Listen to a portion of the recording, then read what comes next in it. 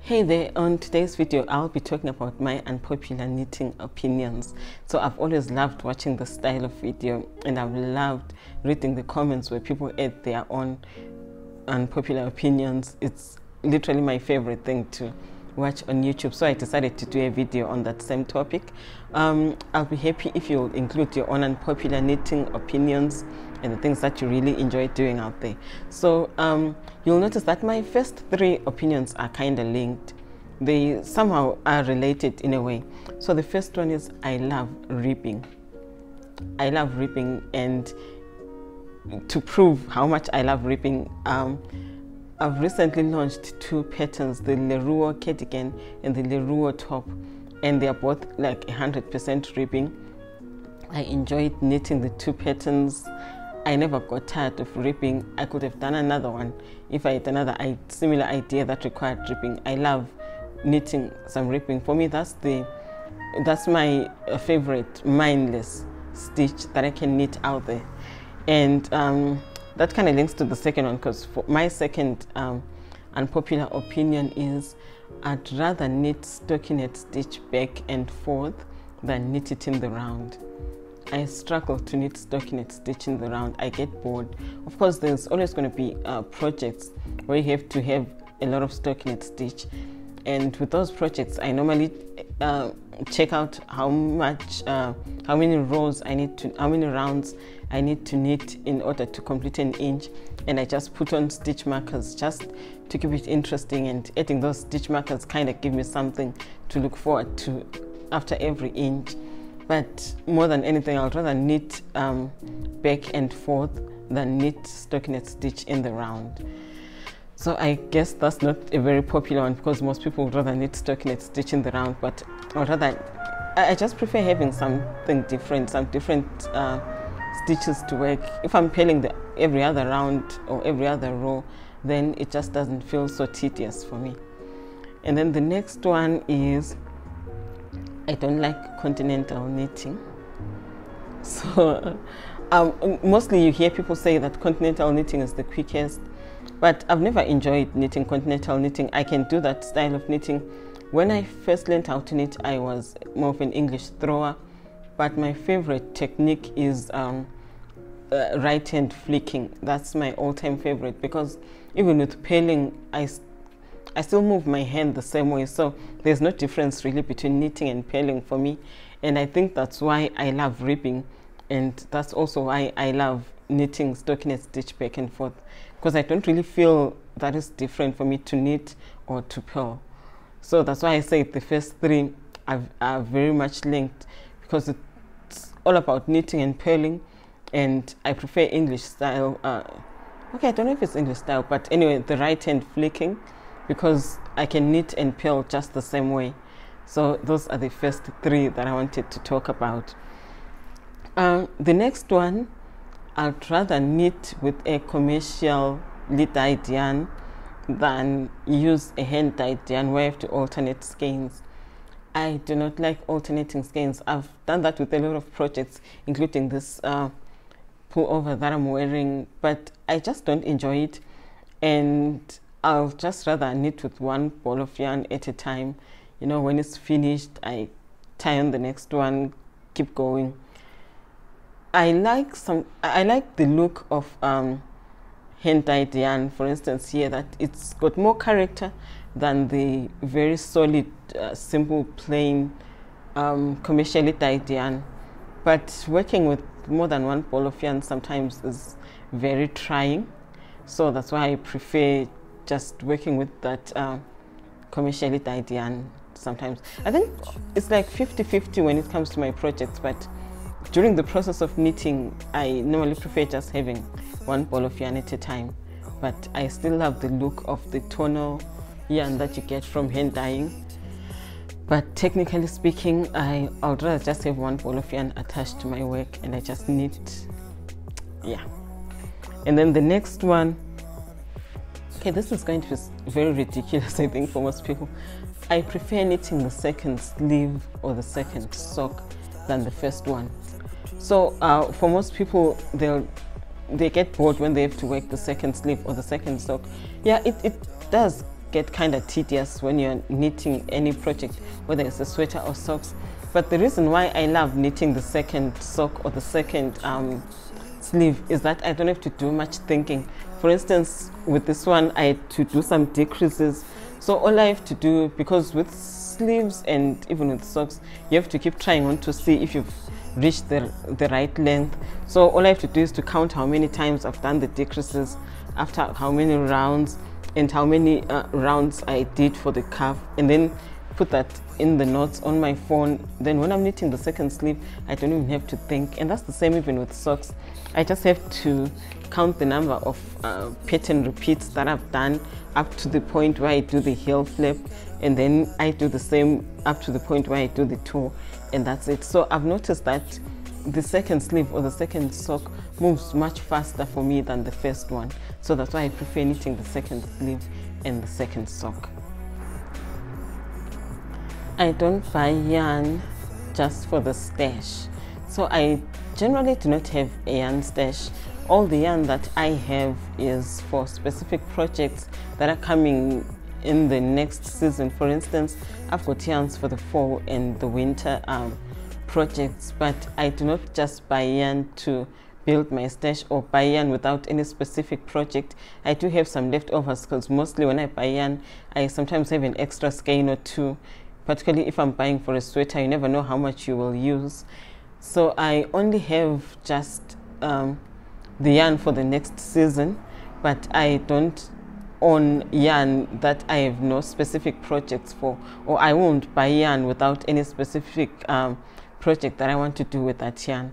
So my yarn is stash is very small. It's right there behind me. There isn't really too much of it. Of course, there's some yarn in some project bags for some projects that I'm currently working on, but otherwise I keep my yarn to the minimum because whenever I have a, a new idea for a project, I've noticed that I rarely go for what's already in my stash. Each project has to have its own uh, type of yarn depending on how I want the final fabric to look like. So having a stash is really a bit of a complication for me and I don't normally have any stash. Um, the next one, I don't mind knitting sweaters in any direction. So of course, most of the patterns that I design are worked from the top down. That's generally the most convenient method. But I don't mind working sideways, bottom up, in pieces, as long as I get the final product that I want. So I think I'm more of a product knitter than a process knitter. It doesn't, I don't really care much about the process as long as the final product is what I want and I can enjoy wearing it. I think for the longest time I was more of a process knitter, but I noticed that I didn't enjoy wearing the stuff that I knitted because I was focused more on enjoying the knitting process more than actually what I get at the end of the day. So now I, I mainly focus on what I really want to get in the process of knitting and I try by all means to make that as enjoyable as possible. I still enjoy knitting everything that I knit. I don't design or knit stuff that I won't really enjoy knitting, but um, I, I don't really mind which direction I knit, even if it's a modular construction where everything just gets joined in different directions. As long as I'm going to enjoy wearing that piece for the longest time, I'm going to knit it. So that's uh, number seven. And then the next one is I prefer a short row heel over um, heel flap and gusset so I think the heel flap in gusset is the one that's mainly preferred by most knitters. At least I've done a poll on Instagram and most people prefer the heel flap and gusset, but I prefer the short row heel. Reasons being um, my socks normally get torn at the heel first than anywhere else. And I've noticed that it's much easier to fix a short row heel than a heel flap because all I have to do is to just pick out all the stitches for that short row and then uh, repick the stitches around the foot of this uh, around that area of the heel and do an afterthought heel and then my sock is good as new and fixed. So it makes it so much easier. And I mentioned this on my previous podcast as well that I love a short row heel when I want to do a contrast color just on the heel and then you just have that pop of color that doesn't interrupt the flow of the sock or of the pattern. And it also works the same way I think when you're working um, with when you're doing color work socks or even using some mosaic knitting I just love the fact that the short row heel just fits in there and the sock continues flowing without uh, any differences in the look of the foot because of the extra stitches that you cast on when you're doing a heel flap and gusset. So I love a short row heel. And of course, I know with most people that heel is not very comfortable depending on the shape of the foot, but both socks work well for me. So that's why I normally gravitate towards the short row heel. And then the next point is I love products that projects that I knit with yarns held together. Even though this can be quite expensive and I don't do a lot of them like that because I also do not want to spend way too much on yarn. But I've noticed that sometimes in order to get a certain type of fabric, particularly if you want a light fabric, even with a, a thicker gauge, a, a thicker yarn weight gauge, you still get a very light fabric just by holding two strands of yarn together. And the look and the feel of it is so different from what you would get if you used the actual weight of that yarn.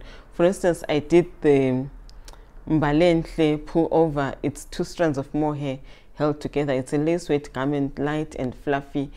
And I remember I swatched with a DK weight yarn, but the fabric that I got from that didn't feel or look the same as what I got from two strands. So even though it's quite expensive and it's not necessarily something that I would use on every project out there, but I think there's a time and a place where you just want to get that type of fabric that you get from two strands of mohair or even two strands of lace weight. I'm working on a project right now that's got um, that uses two strands of lace weight yarn and I've done one last summer, the Zimkita top. I also used two strands of lace weight yarn and the fabric is amazing. I love it. I love the look of it. So I think there is a place for two strands of yarn without necessarily just doing it for the sake of doing it. And on those occasions where I really want to create a certain type of fabric, I love working with two strands of yarn. And then the last one is I don't like knitting in public. I do it sometimes and I knit quite a bit in the car, but I, I don't really consider that knitting in public because I'll just be alone in the car or there'll be my husband or my and my kids. So I don't like knitting in public because people start asking how much it costs for me to make stuff for them. And sometimes people start suggesting that I should sell my projects or my products to certain companies so I can make some money from my so there's there's a lot of conversations that I don't enjoy around my knitting, um, particularly with people who have no idea of what it takes to knit a sock or what it takes to just knit anything really. So I, I, I prefer not to knit in public because of that. Although I do it sometimes when I'm going to places where you have to queue and sit there for a long time.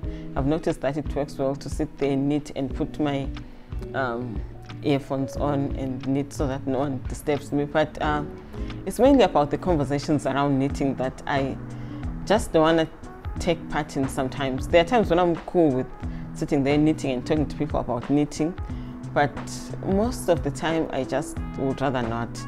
So I don't really enjoy knitting in public, even though I do it quite a lot on school runs and when my kids are out playing or we're in the park or anything.